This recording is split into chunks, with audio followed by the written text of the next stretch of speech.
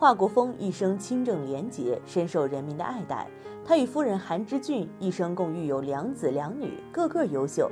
可令人疑惑的是，华老姓华，但子女却个个姓苏，这背后是何原因呢？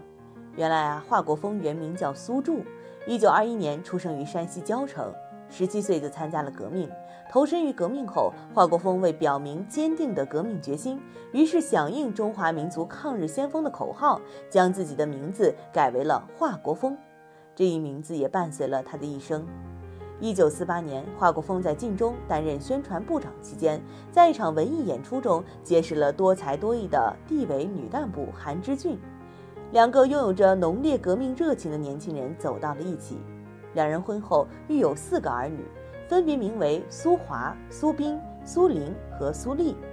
之所以让四个子女姓苏，除了华国锋本名姓苏外，还有一个原因，就是不希望子女因为自己身份关系，在学习或者生活中搞特殊。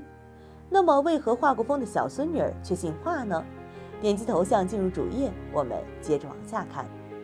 她是华国锋最疼爱的小孙女儿。众所周知，华国锋本名苏柱。因此，他的四个子女均姓苏，而他唯一的小孙女儿却名为华洁珍。就在前几年，一个清纯甜美、长相可爱的女孩突然备受关注。直到她接受采访时，人们才知道，原来她是华国锋的孙女儿华洁珍。华洁珍出生于1997年，自幼备受华国锋宠爱。她名字中的“洁珍”二字取自《飞燕传》中的“玉洁松针”一词。意思是像玉石一样洁净，像松树一样坚贞。而他之所以姓华，因为华国锋觉得这一名字对华家的意义不大同，希望子孙中有一人能姓华。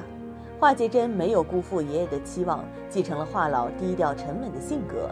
如今他在自己热爱的行业里发光发热。因为华杰珍非常低调，所以鲜少出现在大众视野中。之前身份信息被曝光后不久，很快华家人便将热度降了下去。那么如今华国锋的四个子女过得如何呢？点击头像进入主页，我们接着往下看。他是脾气秉性与父亲华国锋最像的一个。华国锋的长子苏华是一名空军干部，在部队中为人低调。受父亲的教诲，如今已经退休的苏华不搞特权阶级，不追求物质，仍住在早年单位分配的小房子里。华国锋的次子苏斌毕业于国防大学，毕业后在首都卫戍部队任职。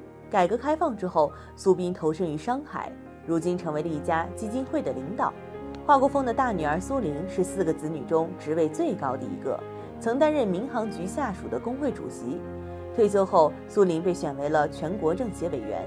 在工作中，他始终坚守为人民服务宗旨，继承了父亲华国锋一生为民的遗志。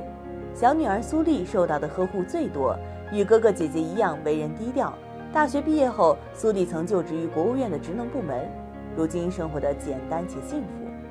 华老一生贡献卓著，他低调朴素的家风也积极影响着子孙后代。好了，那今天的故事就到这里了，感谢大家耐心看完，我们下期再见。